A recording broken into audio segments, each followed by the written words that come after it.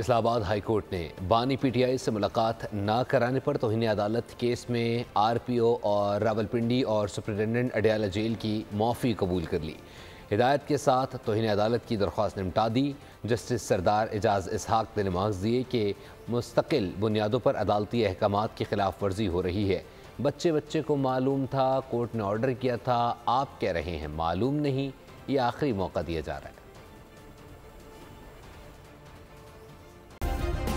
Subscribe करें और bell दबाएँ ताकि कोई खबर रह न जाए।